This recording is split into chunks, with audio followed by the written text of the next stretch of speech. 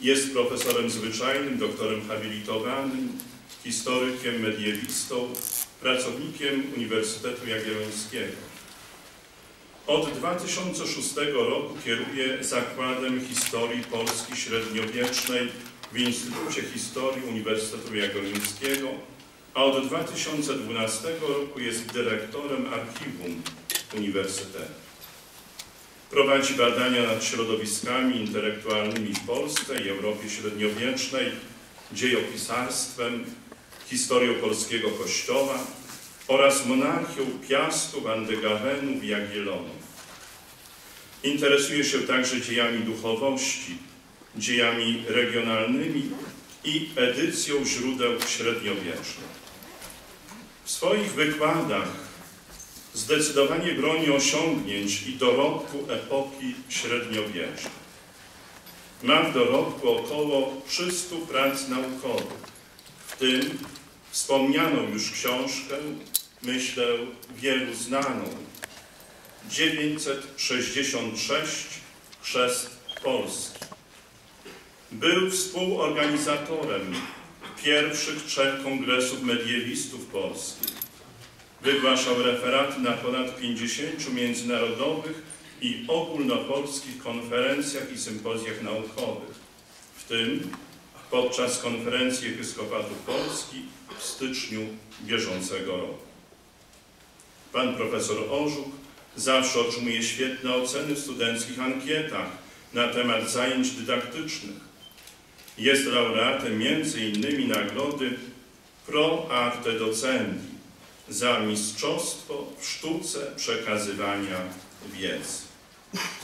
Bardzo prosimy szanownego pana profesora, aby z iście mistrzowską sztuką przekazał nam wszystkim swoją głęboką wiedzę na temat chrztu Polski i jego konsekwencji.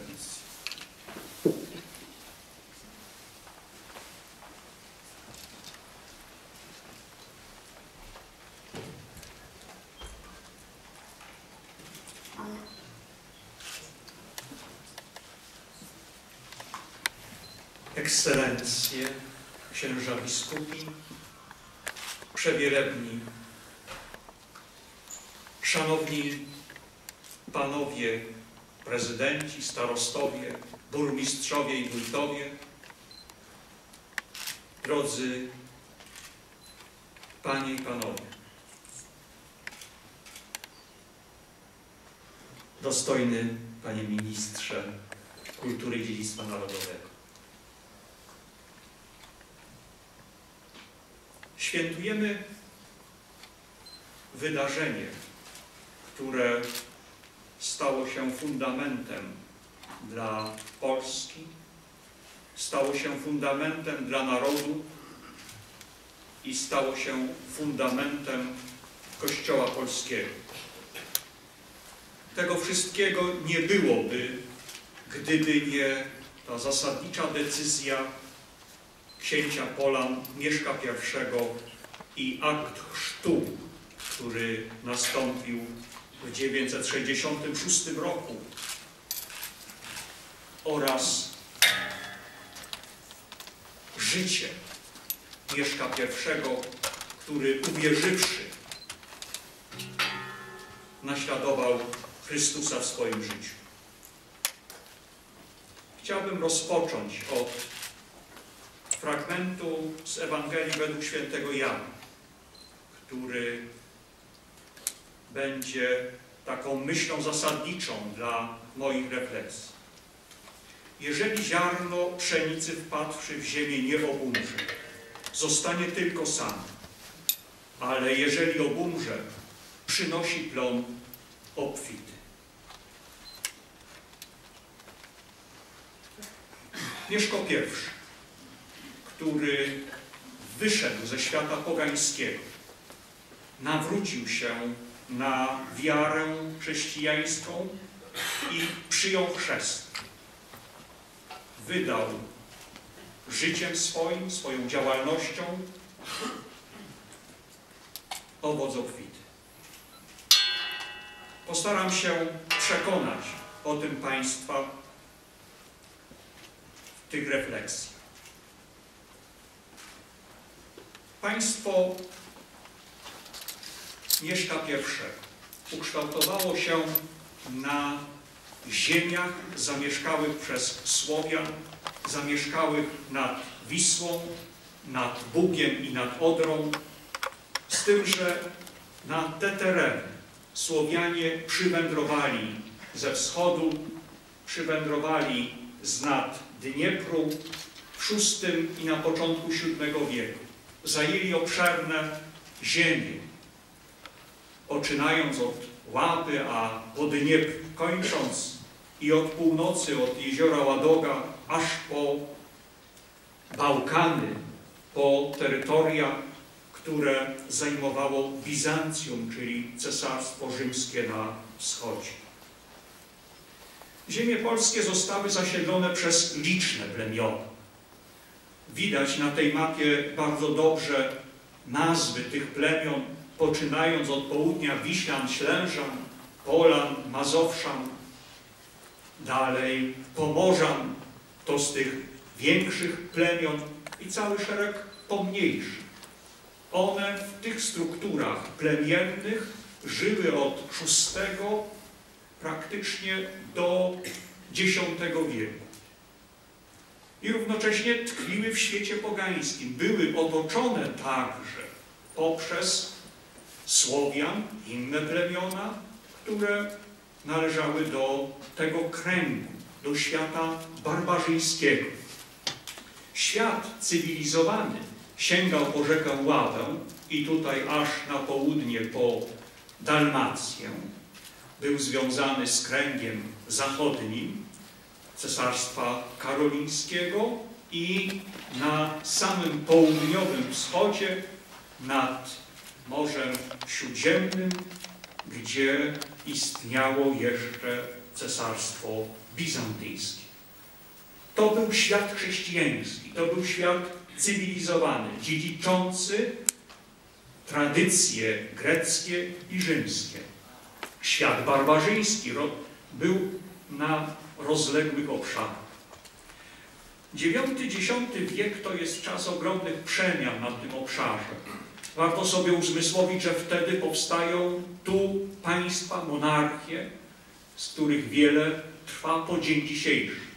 Są to takie państwa jak czeskie, węgierskie, polskie, Dania, Norwegia, Szwecja i oczywiście sukcesorzy Rusi Kijowskiej, a więc państwo rosyjskie, ukraińskie i białoruskie. Żeby pokazać tylko te najważniejsze, które uformowały się w drugiej połowie IX i w X wieku. Równocześnie także z tym procesem tworzenia się państw następuje powolna chrystianizacja tych ogromnych obszarów Europy. Najpierw Słowianie stykając się z chrześcijaństwem na pograniczu z Italią, na pograniczu z Bawarią oraz ze światem bizantyjskim. Tu przyjmują w VIII wieku niektóre z plemion wiarę chrześcijaństwa. Zasadniczy jednak przełom następuje w IX i X wieku, zaczynająś od zachodnich można powiedzieć, zachodnich Słowian rozsiedlonych przy granicy Cesarstwa Karolińskiego, a więc na, rzek, na rzece Łabie, Dunaju, przy granicach z Italią. I tu tworzą się dwa państwa, państwo morawskie, stworzone przez Mojmira I w 831 roku, przyjął on chrzest kilka lat po stworzeniu tego władztwa i Następne władztwo, sąsiadujące nad Balatonem, wówczas to były ziemie zasiedlone przez Słowian, tak zwane państwo Słowian pannońskich. I to są ziemie, które zetknęły się z plemionami polskimi, w szczególności państwo wielkomorawskie.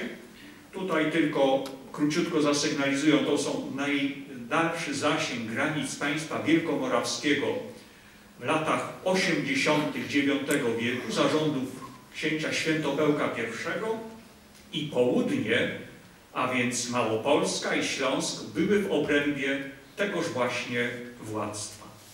Zaś Wielkie Morawy, które przyjęły chrześcijaństwo, jak wspomniałem, w 831 roku, a później dzięki intensywnej misji e,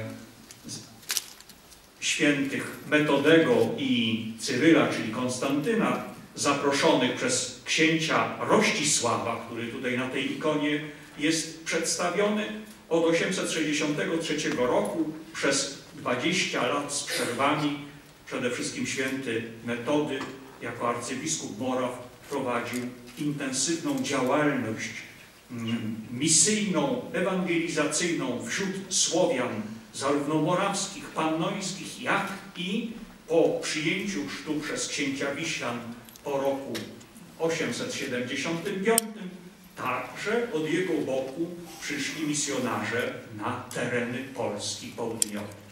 Ślady tych misji są stosunkowo skromne, dlatego że po śmierci świętego Metodego w 885 roku misjonarze słowiańscy, duchowni słowiańscy zostali wyproszeni przez księcia świętopełka z Mora, musieli opuścić, udali się do Bułgarii na południe, zaś na to miejsce przyszli duchowni łacińscy, którzy nie znali tak dobrze języka słowiańskiego, ich oddziaływanie było zdecydowanie mniejsze. Potem Wielkie Morawy zostały rozbite przez Węgrów. W 906 roku upadło całe państwo, zaś ziemie południowej Polski dostały się około roku 940 pod panowanie państwa czeskiego, pod panowanie ojca Dobrawy, księcia Bolesława I. To tak by w takim telegraficznym skrócie pokazać, że to sąsiedztwo plemion polskich ze światem chrześcijańskim przebiegało na południu, w Małopolsce i na Śląsku i tutaj dotarła najpierw wiara chrześcijańska, jakkolwiek ślady są bardzo znikome. Ślady tych oddziaływań chrześcijańskich. Chcę powiedzieć, że nie udało się do tej pory odnaleźć śladów po żadnym kościele z okresu wielkomorawskiego na terenie Małopolski. Zaś to, co było przełomem dla plemion polskich, to było powstanie państwa stworzonego przez piastów i właśnie przyjęcie chrztu przez Mieszka I. Do tego więc musimy zmierzać w naszych refleksjach. Otóż państwo piastowskie ukształtowało się z centrum Wielkopolsce, tym zaznaczonym bardziej ciemnym kolorem, to jest terytorium ziemi gnieźnieńskiej mniej więcej, między rzeką Wartą, Wełną i Wrześnią, około 5000 km kwadratowych. I na tym terenie mamy pierwsze elementy monarchii Piastów w postaci wielkich grodów, które zostały wzniesione między rokiem 920 a 940.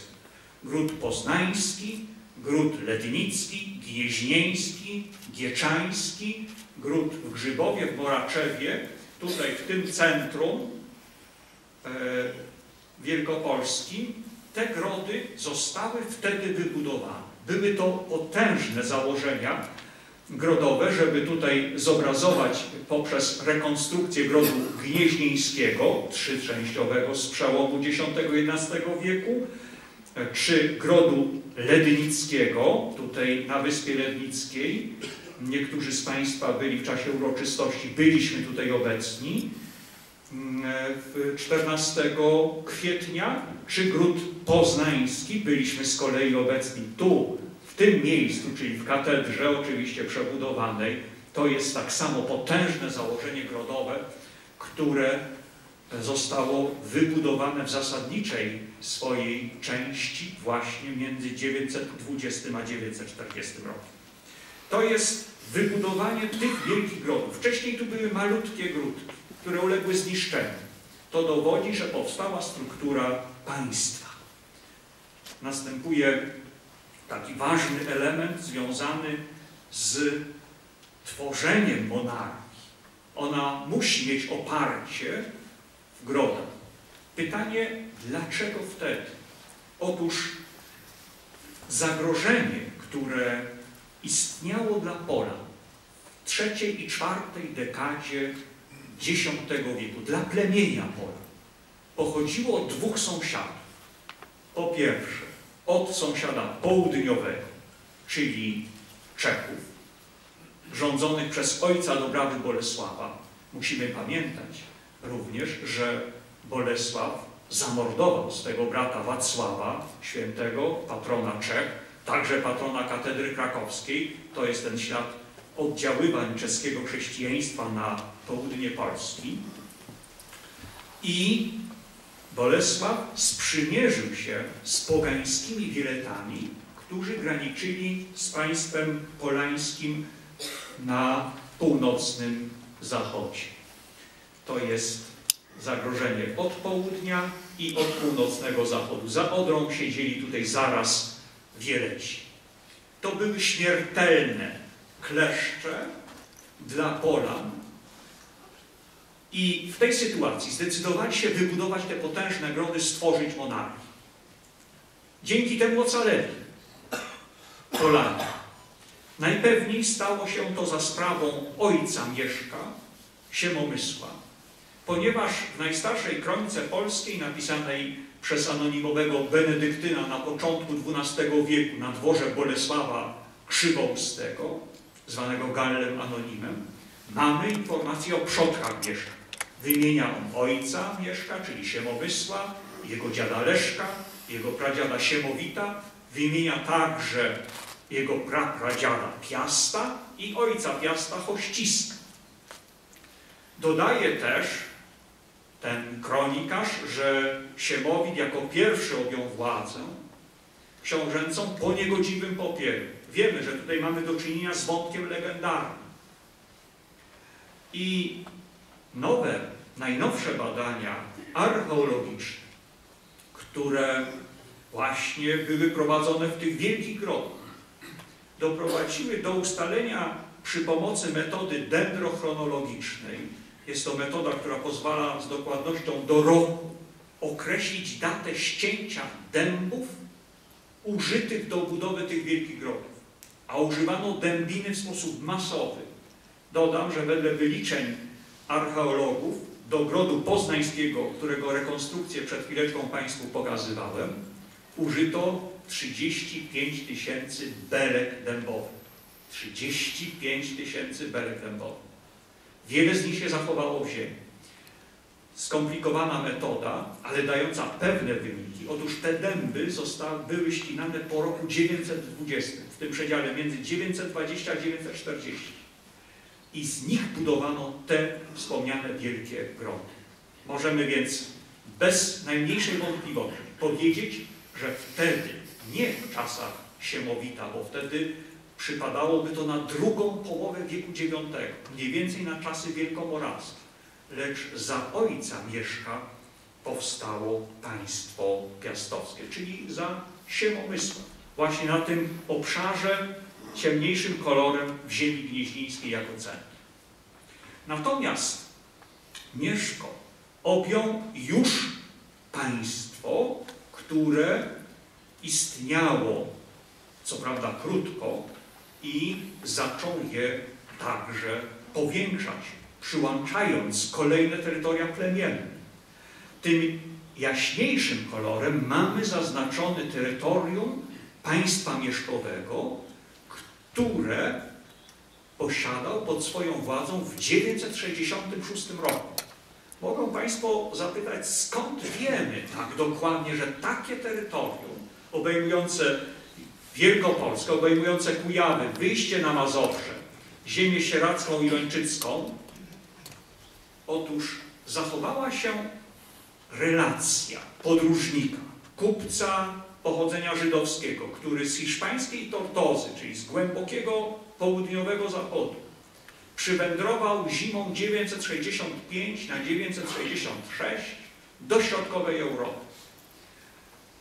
Interesowały go sprawy oczywiście handlu, ale interesowały go sprawy polityczno-militarne. Można powiedzieć średniowieczny wywiad. I zostawił relację, opisując państwo Mieszka w roku, zimą roku 966. Jakby w tym momencie, kiedy decydowały się losy tej monarchii i Mieszko podejmował tę najbardziej zasadniczą decyzję o przyjęciu wiary. Otóż wspomina nam Ibrahim, że jest to duże państwo, zorganizowane, że posiada trzytysięczną armię doskonałych wojów. Mówi nam, że jeden z takich wojów wart jest tyle co dziesięciu innych. Wymienia sąsiadów, a więc Wieletów na północnym zachodzie, wymienia Prusów na północy, Ruś na wschodzie i oczywiście państwo Bolesława Czeskiego z Krakowem i Pragą jako terytoriami, które posiada ojciec dobra. W oparciu o te informacje wiemy, że takim, takimi ziemiami rządził Mieszko I w 966 roku. I jeszcze, żeby dodać do kontekstu, w którym będzie podejmował decyzję Mieszko I, to jest kwestia ówczesnego położenia jego państwa, jego monarchii, gromadzącej już pod władzą szereg plemion, zróżnicowanych. Otóż w 963 roku mamy zapis w kronice saskiego kronikarza Widukinda, że Mieszko w wojnie z sąsiadami, właśnie tymi bardzo groźnymi od lat 30. wieletami, poniósł dwie potężne klęski. Dwie bitwy przegrał, w jednej zginął brat, a wieleci dowodzeni przez saskiego grafa, znakomitego wodza Wichmana, złupili jego państwo. Mieszko więc musiał szukać wsparcia dla monarchii, żeby ją ratować. Spodziewał się, że drugiego najazdu takiego nie przetrwa jego młoda monarchia. W związku z tym najpierw podejmuje decyzję natury politycznej, która bardzo ściśle wiąże się z jego zasadniczą decyzją związaną właśnie z przyjęciem wiary. Otóż Mieszko był otoczony przez świat pogański aż z trzech stron. Na północnym zachodzie miał wrogów, natomiast mógł sprzymierzyć się z potężną Rusią kijowską, która wówczas przez Mazowsze graniczyła, o czym wspomina Ibrahim i Jakub, jako sąsiada monarchii Mieszka, która była pogańskim państwem, mógł także związać się sojuszem z Węgrami, którzy byli ludem koczowniczym na południowym wschodzie. Ich terytoria się rozciągały, bardzo groźni wówczas, ale nie zdecydował się ani na układ z Rusią, ani na układ z Węgrami. Zdecydował się na układ z Bolesławem księciem czeskim, ojcem Dobrawy. I to jest ten moment pierwszy w decyzji związania się militarnego, politycznego ze światem chrześcijańskim, dlatego że Czechy były krajem chrześcijańskim, były podległe także cesarstwu, bo w 950 roku Otton I, król niemiecki, podporządkował sobie Bolesława i zmusił go do zerwania układu z Wieletami i e, uznania właśnie zwierzchnictwa Królestwa Niemieckiego. Więc wejście w układ z Bolesławem oznaczało także wejście w relacje z cesarstwem, które zostało odnowione w 962 roku, tytuł cesarski przez Ottona I. Taka była konsekwencja. To jest jakby pierwszy element. Drugi element decyzji, którą Mieszko podejmuje, to jest to, że już znał świat chrześcijański poprzez kontakty z Czechami, poprzez Małopolskę i Śląsk. A więc znał już i wiedział, jaką rolę pełni Kościół, wiara w Czechach, ale także i dalej na zachodzie. Jak to jest atrakcyjny świat, świat cywilizowany. On był jednak do tej pory w świecie barbarzyńskim, prymitywniejszym, inaczej zorganizowanym niż świat cywilizowany. Ale to nie jest najważniejsze. Dlatego, że Mieszko mógł instrumentalnie zawrzeć układ z Bolesławem, mógł także znać wartość i rolę chrześcijaństwa, Kościoła i atrakcyjność świata cywilizowanego, ale bez zasadniczego aktu nawrócenia na chrześcijaństwo, to wszystko mogło być nieistotne w dalszej perspektywie dziejów. bo znamy monarchów, którzy przyjmowali instrumentalnie chrzest, dokonywali apostazji. Takim był chociażby Mendok w XIII wieku, twórca państwa litewskiego. Mógł także Mieszko nawet osobiście przyjąć chrzest, ale bez chrystianizacji taką sytuację mamy na Rusi Kijowskiej, kiedy Olga, regentka tego wielkiego, potężnego państwa, przyjmuje chrzest Konstantynopolu w 955 roku, ale nie przekłada się to na chrystianizację Rusi. Dopiero 30 lat później jest chrystianizacja Rusi. To wszystko daje nam ten kontekst do poznania, jak ważną decyzję podjął Mieszko, a ona była związana bezpośrednio z jego nawróceniem na chrześcijaństwo i autentycznym przyjęciem wiary. I tę rolę spełniła Dobrawa oraz misjonarze, którzy zostali wysłani z biskupstwa Ratyzbońskiego, od biskupa Ratyzbońskiego, z Bawarii, dlatego że Czechy nie miały własnego biskupstwa, więc misja została sformowana w Ratyzbonie, oczywiście duchowni znającej język słowiański, pochodzenia czeskiego przybyli z Dobrawą, pouczyli Mieszka jego otoczenie o prawdach wiary chrześcijańskiej, to było zimą 965 na 966 i również, co nam poświadczają dwa niezależne źródła, kronika Titmara, współczesna Mieszkowi i tradycja dynastyczna zapisana przez Galla Anonima, że Dobrawa doprowadziła Mieszka do szczerego nawrócenia i przyjęcia wiary oraz chrztu, sakramentu chrztu do szczerego, autentycznego.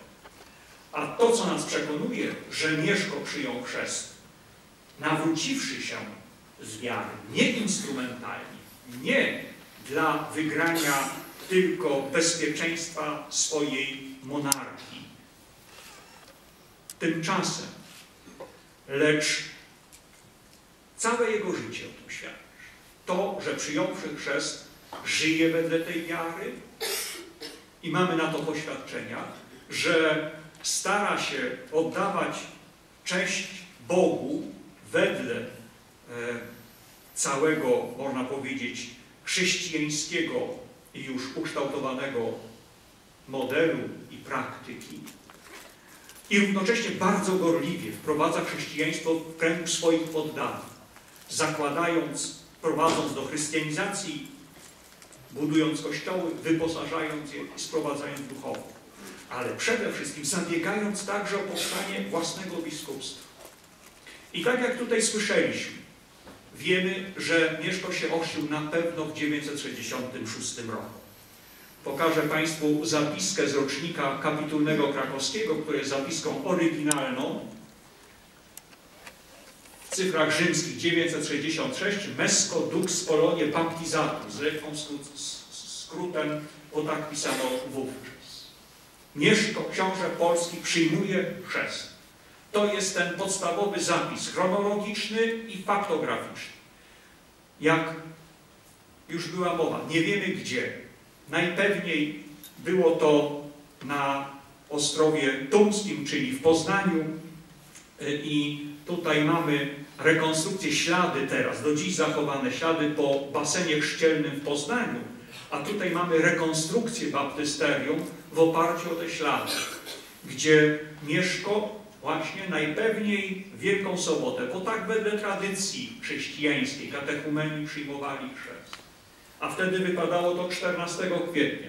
Mieszko w tym oto basenie chrzcielnym, który jest pod katedrą poznańską zachowany, w takiej aranżacji. Mianowicie tutaj mamy parawan, za który wchodził Mieszko, składał szaty, wchodził do basenu chrzcielnego, trzykrotnie się zanurzał, natomiast kapłan bądź biskup, który na tę okoliczność został zaproszony z cesarstwa, tego nie wiemy, wypowiadał formułę chrzcielną Ja Ciebie chrzczę w imię Ojca i Syna i Ducha Świętego. Amen.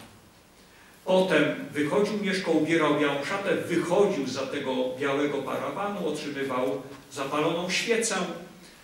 Kapłan, biskup czynił krzyżem znak na jego czole. Jeśli to był biskup, to równocześnie był to sakrament wierzmowania. I potem przechodzili procesyjnie w głąb tej kaplicy i tutaj odbywała się pierwsza msza święta i pierwsza komunia mieszka. To jest to miejsce. Z kolei Na Ostrowie Lednickim to jest ta kaplica w rekonstrukcji, a to są miejsca po basenach szkielnych zaznaczonych na współczesnych ruinach, które się do dziś zachowały na Ostrowie Lednickim. Ale w tych miejscach także po chrzcie księcia następował chrzest elity. I także możemy być pewni, że Mieszko, podjąwszy decyzję, nawróciwszy się, miał za sobą także poparcie elity. Bez tego proces chrystianizacji byłby niemożliwy. Elita polańska by mu się zbuntowała. Książę by został zabity. Mamy szereg przykładów, że książę przyjmuje chrzest, elita y, buntuje się, władca ginie. W tym wypadku nie mamy ani śladów żywowych, żeby był jakiś bunt, sprzeciw, żeby Mieszko mieczem czy gwałtem wymuszał przyjmowanie wiary chrześcijańskiej. To jest bardzo istotne.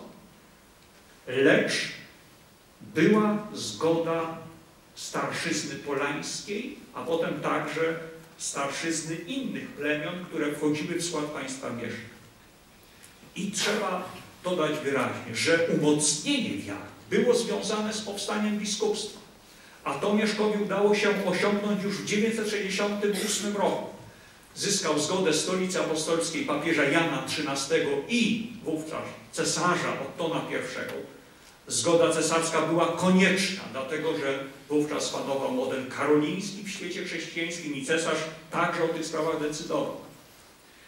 Biskup otrzymuje sakrę w Rzymie, przybywa i chrystianizuje nie tylko centrum, czyli ludność głównych grodów, ale równocześnie także na prowincji.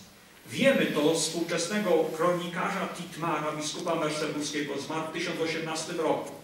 Był niechętny Bolesławowi Chrobremu, ale bardzo dużo wiedział o Polsce i przekazał wiarygodne informacje. I napisał, że Jordan wiele się natrudził i doprowadził poddanych Mieszka do przyjęcia wiary chrześcijańskiej. Czyli doprowadził do tej pierwszej chrystianizacji. I to możemy nazwać chrztem Polski. Mieszko, elita, poddani. To jest wszystko, co określamy pojęciem chrzest Polski. Tak to należy rozumieć. I równocześnie Mieszko jako książę, który przyjmując wiarę chrześcijańską, autentycznie gorliwie ją wprowadzając, budując kościoły, wyposażając, sprowadzając duchowni, troszczy się o ten kościół. Bowiem wówczas była taka idea, że monarcha chrześcijański jest odpowiedzialny za zbawienie swoich poddanych i musi się o nich troszczyć, że jest on odpowiedzialny. To jest bardzo istotne dla zrozumienia tego wszystkiego, co się później dzieje. Bolesław Chrobry, następca, to kontynuuje. Ale równocześnie Mieszko i Bolesław jako znakomici wręcz, wyczuwający moment historyczny, zyskują, można powiedzieć, dla Polski, dla Kościoła coraz to nowe, ważne instytucje. Najpierw to była instytucja biskupstwa polskiego w 968 roku. Stąd chrystianizacja całego państwa. Potem bliski związek mieszka ze stolicą apostolską. Już udokumentowany chociażby tym, że oddaje swego syna Bolesława w siódmym roku życia po postrzyżynach pod opiekę świętego Piotra. A potem całe swoje państwo w 991 roku, rok przed śmiercią, oddaje pod opiekę świętego Piotra. A stolica apostolska wówczas nie miała żadnego znaczenia politycznego. Tu decydowało cesarstwo. Niezwykła intuicja związania Polski z Rzymem oddania pod protekcję świętego Piotra. Ale wiemy także, że Mieszko i Bolesław nie tylko wprowadzali kult świętego Piotra, ale także kult Najświętszej Marii Panny, wezwanie kaplicy tej, która była przy Grodzie Poznańskim, tutaj za chwileczkę pokażę, o właśnie, to jest ta kaplica e, w Grodzie przy Palacjum Poznańskim, miała wezwanie Najświętszej Panny Marii. Jako pierwsza została wybudowana przy palacu. To są te cechy ważne w związku z Rzymem, ale także e, czci dla Matki Bożej, dla Matki Chrystusa, które są widoczne u początku. I potem niezwykła rzecz. Bolesław zaprasza, Bolesław Robry zaprasza świętego Wojciecha, biskupa praskiego, do Polski i ten i pomaga mu w misji do Prus. Misji pokojowej. Wojciech ginie. 23 kwietnia 997 roku. Jutro mamy uroczystość świętego Wojciecha. Bolesław znów z niezwykłą przenikliwością wykupuje ciało z rąk Prusów, składa je w Gnieźnie, ponieważ Wojciech był przyjacielem cesarza Otona III, przyjacielem papieża Sylwestra II. Można powiedzieć, znał całą ówczesną elitę świata zachodniego. Wojciech. Od razu zostaje uznany za świętego. I na tej fali Bolesław od papieża i od cesarza uzyskuje zgodę na erygowanie arcybiskupstwa w Gnieźnie, biskupstwa w Krakowie, we Wrocławiu w Kołobrzegu. Biskupstwo polskie, które do tej pory miało swoją siedzibę w Poznaniu, zostaje ograniczone do Wielkopolski. Rzecz niezwykła. Gdybym Państwu powiedział, że Czesi, których pierwszy książę ochrzcił się w 875 roku, arcybiskupstwo w Pradze uzyskali w 1344 roku dopiero. Cztery, ponad cztery wieki później. Bolesław Chrobry, ale dzięki świętemu Wojciechowi i temu znakomitemu wyczuciu momentu historycznego niecałe 40 lat po chrzcie swego ojca Mieszka I. To jest skala, to jest rzecz niezwykła. To stanowiło o tym, że Polska stała się chrześcijańska. Właśnie zyskanie patrona w osobie świętego męczennika, stałej metropolii kościelnej. Ta metropolia, te biskupstwa podległe właśnie arcybiskupowi gnieźnieńskiemu przecież tworzyły i wprowadzały w życie polskiego społeczeństwa wiarę chrześcijańską. Oczywiście to był proces długi, dlatego że później w latach 30. Kościół doznał uszczerbku. Reakcja pogańska, kryzys państwa, walki wewnątrz dynastii doprowadziły do upadku centrum wielkopolskiego. Ale dzięki temu, że Polska była już w świecie chrześcijańskim jako jego ważna część, to przy pomocy cesarskiej, rodziny także e, e, Kazimierza Odnowiciela, jego matki, rodziny właśnie matki Rychesy, została odbudowana w oparciu o biskupstwo krakowskie, które nie uległo zniszczeniu, a cała Polska w oparciu o tę właśnie pomoc. I metropolia została odnowiona staraniem Bolesława Szczodrego i papieża Grzegorza VII przez jego legatów w 1075 roku. I od tego momentu już działa nieprzerwanie po nasze czasy współczesne. Musimy tę ciągłość Kościoła zauważyć i tę jego wielką, to jego wielkie dzieło jakby zarówno wprowadzania chrześcijaństwa, ugruntowywania, a potem także tego, co przynosi nam cała, cały Kościół, całe dziedzictwo świata zachodniego, świata chrześcijańskiego. I jeszcze jeden moment, bardzo ważny. Mianowicie na zakończenie wiara, Kościół spoiły te różne plemiona w jeden naród, który krystalizuje się w XII-XIII wieku. Tożsamość polska stanowiąca niezwykłe spojenie wiary i życia w Kościele oraz obyczaju, obyczaju norm społecznych, zachowań społecznych, prawa, które funkcjonuje wówczas, które jest prawem zwyczajowym i kultury, która się tworzy na gruncie chrześcijaństwa.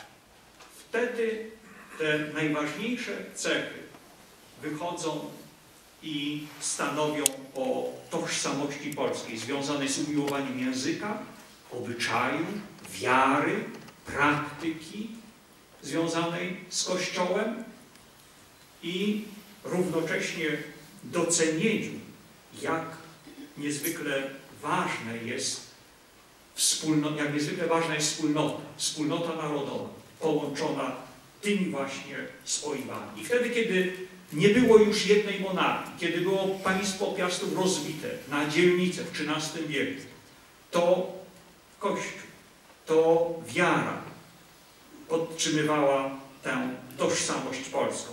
To Kościół staje się obrońcą języka polskiego. To on przechowuje pamięć o wielkiej monarchii Bolesława Chrobrego.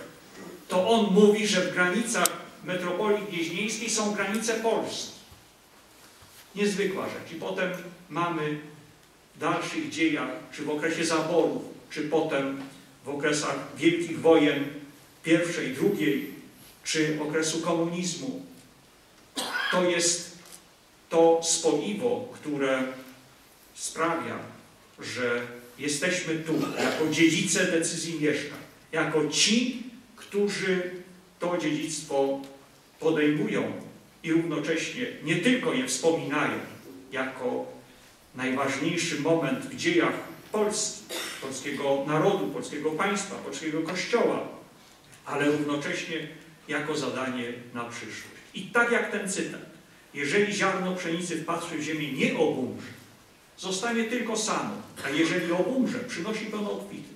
Mieszko, gdyby pozostał w świecie pogańskim, nie obumarł dla tego świata, nie wyrzekł się, to nie byłoby ani Polski, ani narodu polskiego. Tak jak nie ma narodu wieleckiego, który był przeciwnikiem tak groźnym monarchii piastowskiej i wielu innych, które otaczały ziemię Polskę. Więc przyjął ziarno wiary. To ziarno wiary autentycznie wyznawanej przez Mieszka przyniosło plon obfity. I my z tego plonu dziś korzystamy. Dziękuję Państwu.